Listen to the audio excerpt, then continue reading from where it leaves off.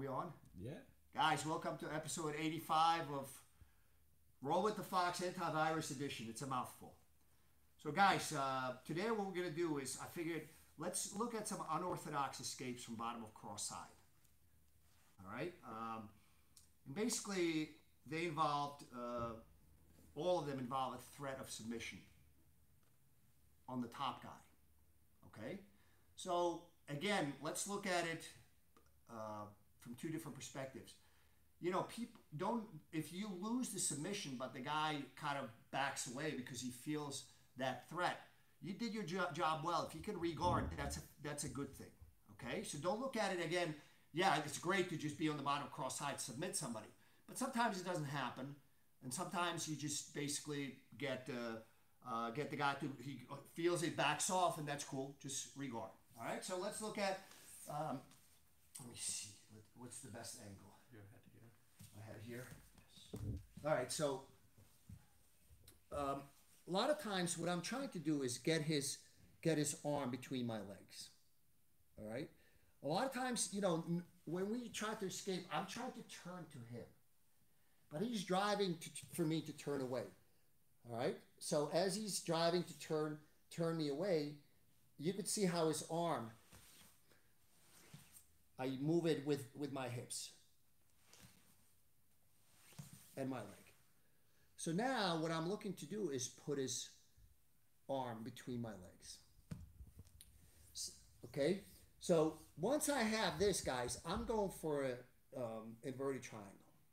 Right now, the angle, if I'm facing away from him, I don't know if you remember, there is two styles of inverted triangle. We call them, for lack of a better term, Braulio style and Fox style. My style is more if I'm turning to him. Braulio, this is a perfect time. All right. So what we're gonna do is don't move your head. I'll move it. So I have to go under. Okay. I have to go under his head. Lock it up. I will hold on to this arm. It's it's useful. And notice that I have it with a gatame thread on this side as well. The reason for this is I don't want him to. Once I start to get this going, I don't want him to bust out. And now just squeeze. All right. So let's look at the setup again. Guys, understand that this will not necessarily work for you. Yeah, it's a beautiful, it's a thing of beauty. You're in a crappy position and you submit the guy. Do not expect this to happen every time, especially with- against skilled guys. But a lot of times, a threat of submission will make the guy back off, and that's enough for me to re-guard. You know, again, that is your ultimate goal is to re-guard if if if you can get the submission. So if if he lets me turn to him, but a lot of times the guys drive and turn you away. What I'll do is move my move my leg. Now, usually, no, I will try to hold on to it. I may actually, yeah, I may threaten. We we to come back to this, guys. Now I have the leg. We start to come back. He starts to withdraw a little bit. So if his head is down, guys, I need to push it down towards towards my hips. Bring my leg over, and now, guys, I lock up. I will try to hold on to this if I can. If I can't, that's okay. And I just, guys, I just squeeze. All right. So one more time. Should we do it from the other angle, other side? I think it's good. That's good. You want to change? I want to reps on the other side too. so again, I use my leg, bring it over, lock up, and squeeze. All right, one more time. So, as he, if I can turn to him, but a lot of times the guy's got a good drive.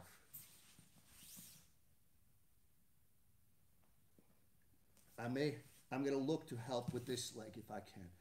He's in my trap now. Bring the leg over. Now I go back to grabbing his arm, and now I squeeze. Yeah, baby.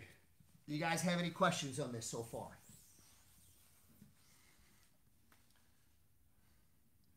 We have Michael Fossey asking if uh, will we make it to episode 100? I hope not. But um, we actually talked about this, guys. Um, the situation in uh, in New Jersey is, is moving. Unfortunately, gy- I, I don't consider my school a gym. I consider it a school. But I think in people's minds and, and sort of uh, from a regulatory standpoint, we classify it as gyms. There is no date for uh, reopening gyms yet. However, my plan is to basically see in the next week or so if there is a date. If there is no date, I plan to eventually take matters into my own hand. You know, where we have to st- sort of start to do it on a, in a responsible way. But um, I think that if we make it to episode 100, that'll be it. I hope we finish before that. We got 14 left. What is it? Six, 85, 86? 85. 85. So we got, I, I think maximum 15. It would be a nice number. Um, I may finish it at 99 though. But I'd rather just stop it at 93 or whatever the number may be, 94, whatever it is. But uh, we'll, we'll, we'll play by ear. Um, yeah, I, uh, you know, we're still going to do this, but, you know, obviously we're not going to do this on a daily basis because I, I have other things to do too. once, especially once the school reopens, I have a lot of things to do. So uh, we still will continue this, but not on a daily basis. What else we got, Mike? Dave Jocelyn is asking, can you get an Urigatami as a secondary submission on the other arm? It's going to be very difficult. Can you guys tell me why? That let's let's do it again just so you guys see.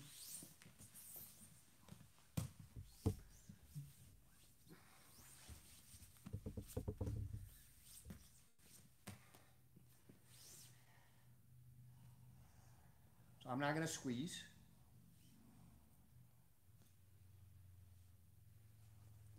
Michael Frazee says, not enough space. Yeah, there's no breaking. There's no breaking room. Also, basically, guys, if you're gonna if you're gonna finish an urigatami, you generally need to have your feet on the at least one foot on the hips. If you don't have at least one foot on the hips, chances are it's gonna fail. But that grip also, but that grip keeps him from busting out. Because once I get to that point, guys, uh, understand that when you're on the bottom cross side, you want the guy away from you, not on top of you. But once I set things up you know, to the point where I got to, I no longer want to want him to to to bust out to to escape. So initially, I kind of keep try to push. You know, that's that's one of the uh, beginners' mistakes. A lot of times when they get on the bottom, they kind of like holding on to the guy. Um, you know, if you're in danger of being hit, yeah, that's that's a viable strategy. But from a jiu-jitsu perspective, you're basically keeping him where he wants to be. I want him away from me. I want space. Uh, but once I set up all these little steps, now I don't want him to go away. I want him to stay exactly where he is. Kanai Kiyoshi is asking, if the opponent's head is very tight and close to the head over the chest, are you going to pursue the same technique? Uh, that's a good question. It's it's it's kind of difficult if if his head is really tight. So I can kind of move. You know. So once the the hardest part is to trap the arm. All right.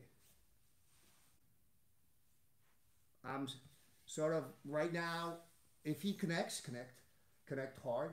If he connects hard, and I realize this, if if I if I think it's gonna happen, I can try. I can try. So I'm pushing, but I'm trying to get my legs. This is not gonna happen.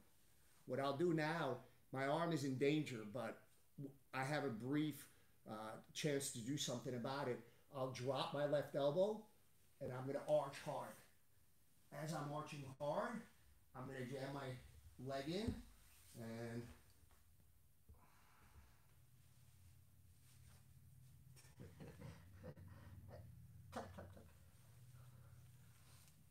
So again, you have to string a few things together. So that is a possibility. If his head, again, understand that your best chance of setting anything up is in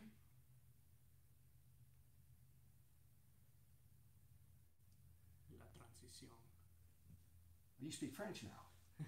Transitions, guys, because once he, eh, eh, you see that once he sort of starts to set up all the little elements, then it's a lot harder for me to set it up. But there's other things you could do. So you know, do you understand? Like you wind up in a situation, you have to take a quick stock, quick sort of assessment of what you have, and then run with it. So if his head is really tight, so if it's really, this time he's so far, so high up on my shoulders. What I'm gonna do is, my hips, I I can bump them. So what I do is instead of bump my hips, I arch, and I now go into an arm lock. Not gonna happen.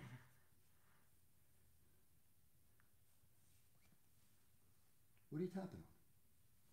I don't want you to break my arm. I wasn't going to. Oh. Now yank your arm out.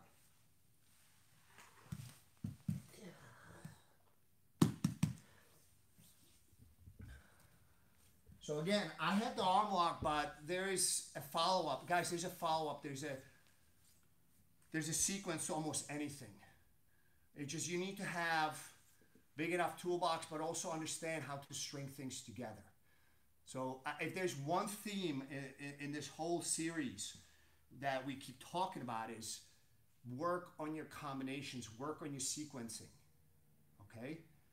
I know some of you guys, well, probably a lot of you guys don't have the same, you know, uh, same number of years or anywhere near that uh, on the mats that I have, but you can sequence things that are simpler and and sort of more suited to your game. You know, if you're a high level guy, you can se- sequence things or you know combine things that make more sense towards your game. So it's it's not necessarily like this is you do one two you don't paint by numbers one two three four. It's what you what your sort of game is, and and you can sort of start to pay attention to what your training partners are doing in response to your attacks or response to your defenses. And there's a logical answer as to what you should be following up with. Okay, so let's move on, guys. So let's look at the scenario where I start to I control his his, his hand, and he's not he's not letting me. I cannot. So I did not get. If I can push his head down, I'm going to triangle him.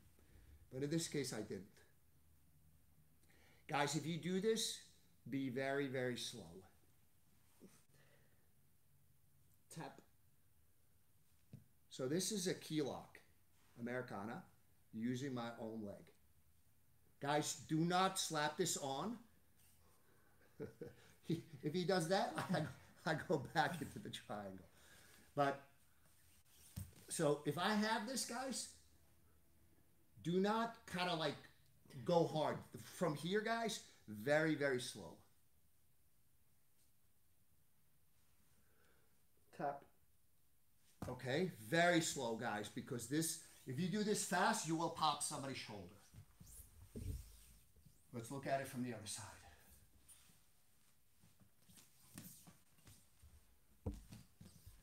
So again, if my head is turned away, what I'm going to try to do is, is, is, is get a hold of his arm.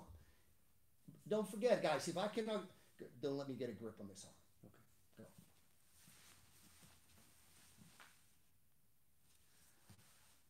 if he knows he's not going to let me get a grip on the arm, but by doing so, he's giving me a, a he's giving me space to get my leg in. Again, guys, the backup plan on any one of these is guard recovery.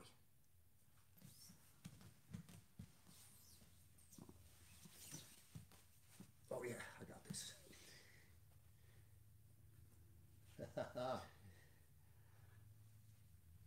Tap, tap, tap. now, if he swims,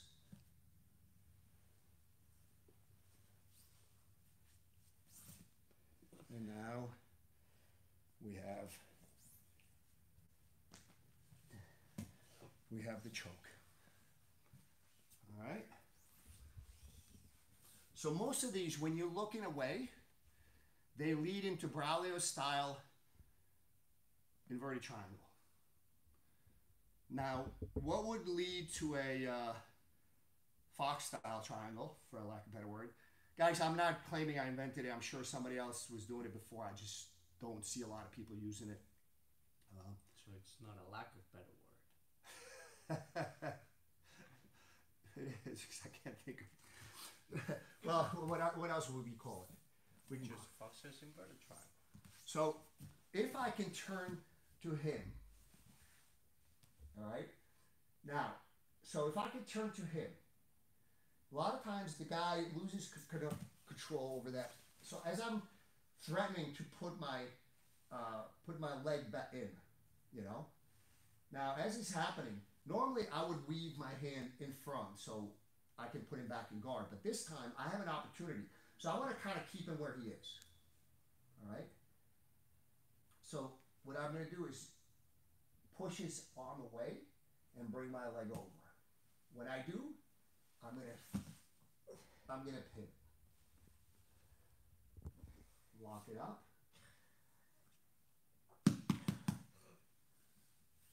And now we have the other kind of inverted triangle. The Fox inverted triangle. So again, this one works well if if I can turn, and I threaten to re-guard. All right. A lot of times he's still trying to control my hips with his hand because from here it's, it's no longer effective. It's it's an easy re-guard. All right. So he ret- retracts his elbow. That's fine. What I'm going to try to do is if I can, it, you don't necessarily have to, guys. You just pivot. Now, I put my weight on his torso.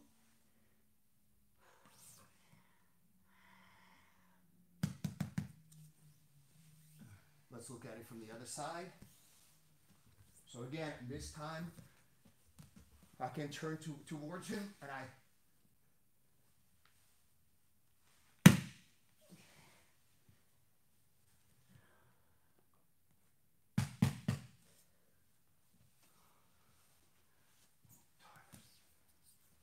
So he allowed me, he's more concerned, more of his weight, more of his attention is on my hips as opposed to my neck.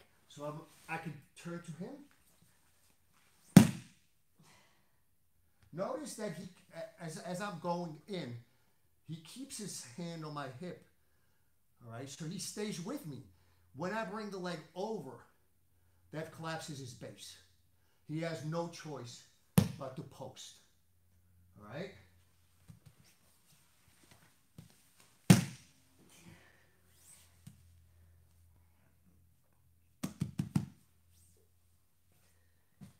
All right. Do we have any questions on this so far, Mike? While we're waiting for the questions, we have check-ins from Lithuania. We also have Canada, Japan, Wisconsin, Venezuela, Mississauga. You know where that is? Mm, Do you know where it is? I do know where it is. no, I Canada. don't know. Oh, it is. Ontario. Uh, yes, at Vernon, New Jersey. See, it's, it's specified. you gotta thank him.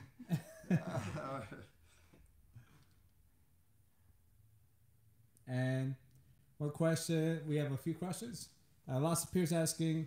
I have a question for you guys. What happened to our Antarctica connection from via via Serbia? I, I believe they're already training in full, so you can't join live now.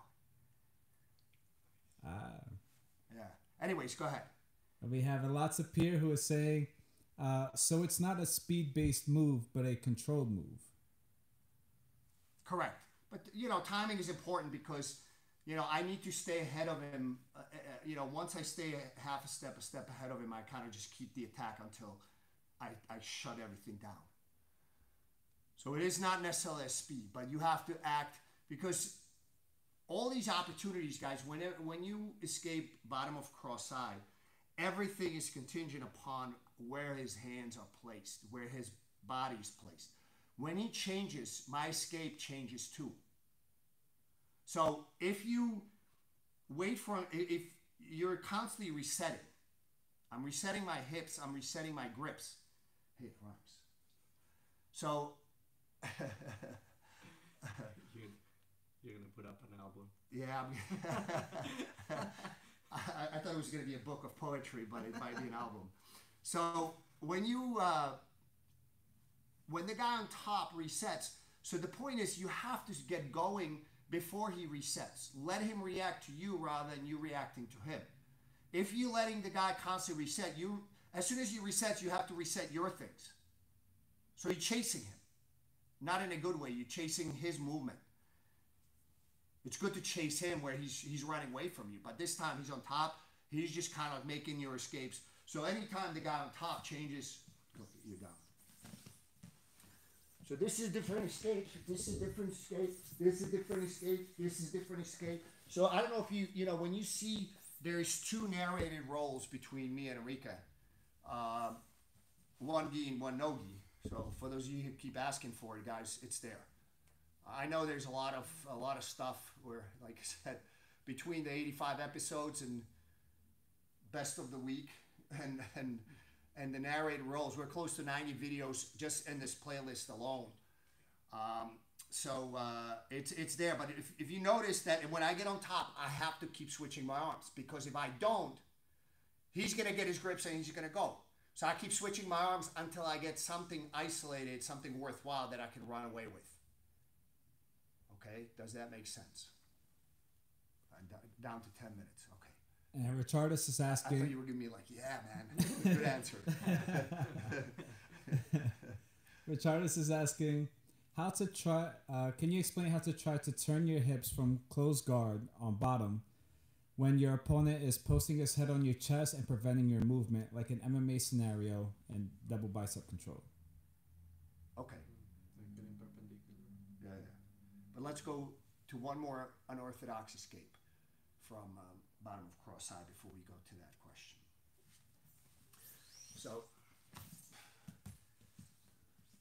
so this time I want his weight on my shoulders. If it's on my hips, I can bump. Okay, I want him on on my shoulders. So again, I need to get going, guys. Anytime you're on bottom cross side, have your feet close. Don't don't be out here. Okay?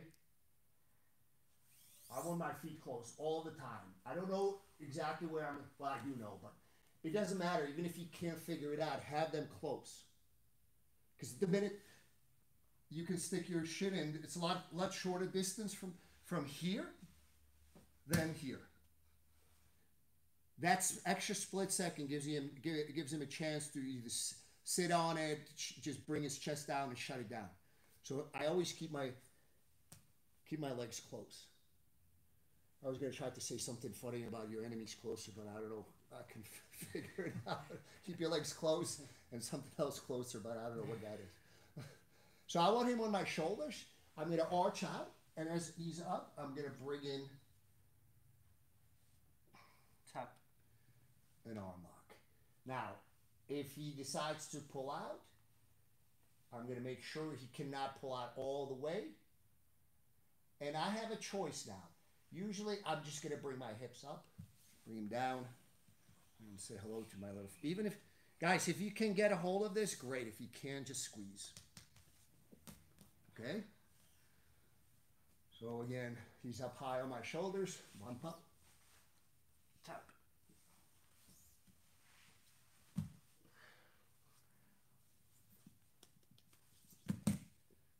have a submission. We have a lift off. So, guys, do we have any questions on these uh, unorthodox escapes before we move move on? Unorthodox, yeah. guys, again, be careful. Don't bait bottom of cross side to get one of these moves. This is if the opportunity is there, take it. But if it's don't bait it because you, and, you know then somebody's going to really you know, knows what they're doing and they're going to keep switching their hands and you're going to be chasing them. You're like, oh man, Fox said I could submit somebody from the bottom. Yes, you can if the opportunity is there. But if you set, if you like baiting people into this and then you got somebody really good on top of cross side, it's going to be a long day for you. Hollywood Blue Jitsu says, uh, keep your enemies close and your knees closer. Oh, I like that.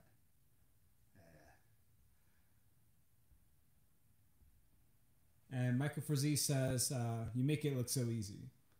Yeah, I've been training for a long time, and I've been training every single day for the last 80, 85 days.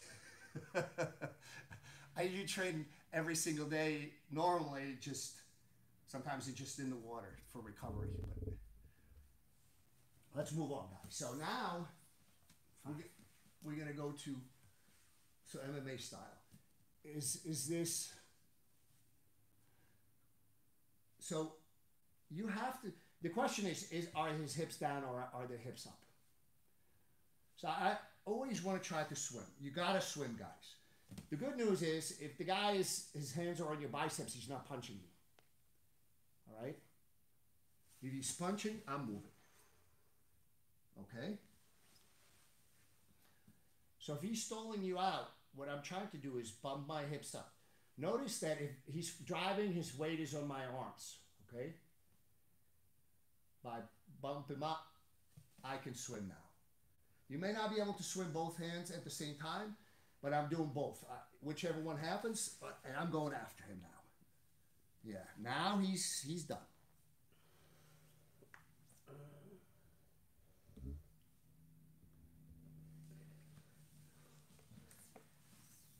Now let's look at the other possibility where he's driving and his hips are in the air.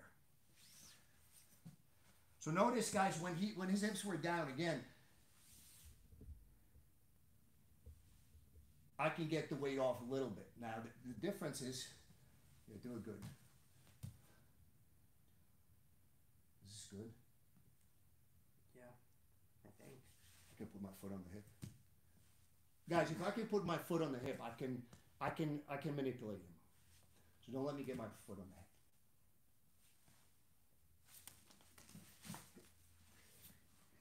And here we go. You got to move, guys. You have to move. You cannot let somebody make you mobile. You got to figure out what you can move, and ideally, if you can move a couple of parts of your body at the same time, there will be an opening. Jim Taylor is asking, are there any sweeps from the Braulio inverted triangle? Yeah, it's all the same sweeps. If he goes north south, you can launch him. You got to go to the inverted triangle uh, episode. I don't know which one it is, but uh, if I have somebody triangle, I'm going to try to finish them first before I sweep them. Sweep is only a backup option. And Michael Frazee is asking, can you talk about the balance between looking for what the opponent gives you versus training chained attacks by position? Uh, they're, I don't consider them versus like you do one or the other. I, I, look at it as you doing both at the same time. So basically, I attack and I either hit him, he's done, I submit him, or he escapes, in which case he's giving me something else. So I gotta keep stringing. So basically, my you, you whatever position you're in, you ha- I have a plan. Rarely does that plan go exactly according to plan. Um, if you have a skilled opponent, so I have to have a backup plan and possibly a backup plan to the backup plan. Um, now the the hard part becomes, and that's why I told you guys that you need to look for things in transitions, is when you get stalled. So now you don't have a plan. You wait. Your plan is to wait for him. That's not a good plan. We use a lot of plan. a lot of words. Sort of planning. A lot of plan. A lot of planning. so, when for you guys, so uh, based out a little bit more, a little wider, a little wider, like you know, like a, a, a wrestler in MMA would, you know, like yeah, yeah, yeah, yeah, like this. So, guys, it depends. Uh, what what the like right now I'm stalled out. All right if I can put my so you have to break it down. You're immobilized. Not really. Your upper body is, is pinned, but you're not immobilized. So guys, don't drop both. If you drop both, you, you're done. So I'm not immobilized. I can put I can put my foot on the hip. But I, I gotta you gotta make sure that the second, the split second he decides to punch you, I'm already moving. Okay? So, drive again. So if I can put my foot on the hip, so yeah, my upper body's immobilized, but I can look. You always gotta hang, no matter what you're doing. You always gotta hang with the other leg.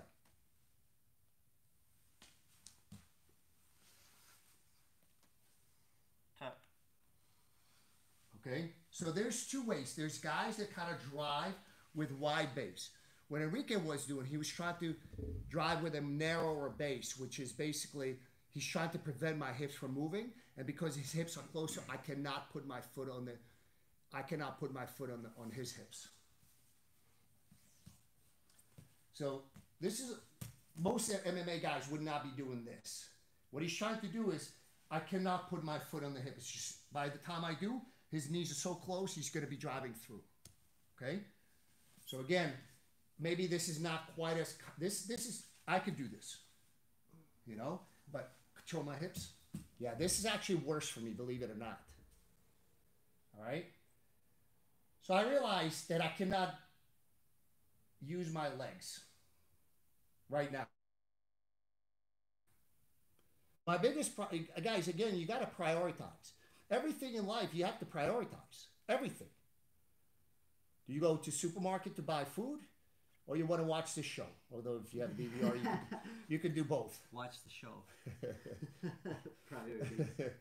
Uh, so everything you prioritize. Same thing in jiu-jitsu. You just got to prioritize very, very quickly while you're under duress. So that's why jiu-jitsu is such a good life lesson. So I know that I cannot you move my legs because if I do, your guard will be passed very quickly. So the only thing I can do is is move my arms.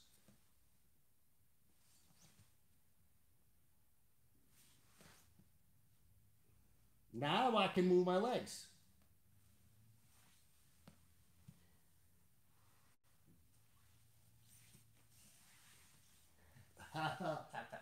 This was a thing of beauty, guys.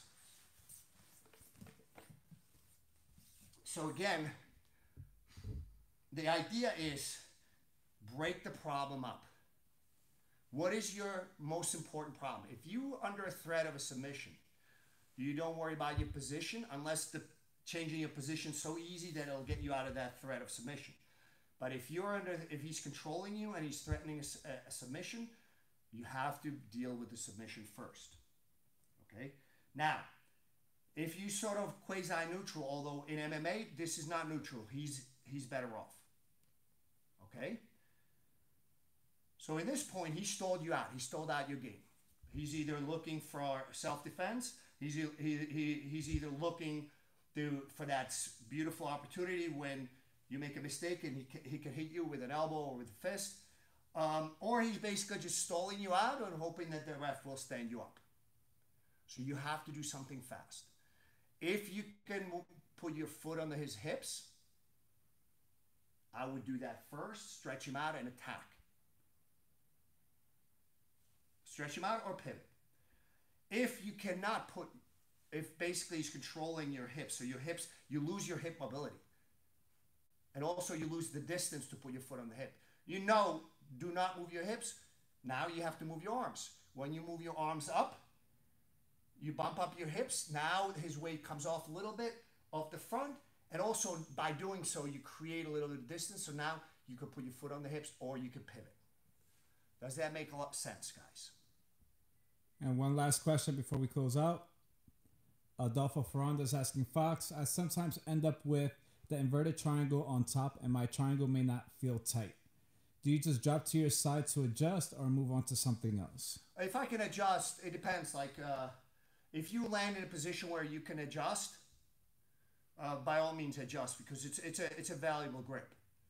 But if you can't, and you know your legs are starting to burn out or coming apart, just take the top position and and you know go after him with something else. You know that, that accomplished its goal, which is again to either it's a form of control which leads to you know your uh, to submission or some form of sweep. And just like that, we're out of time, guys.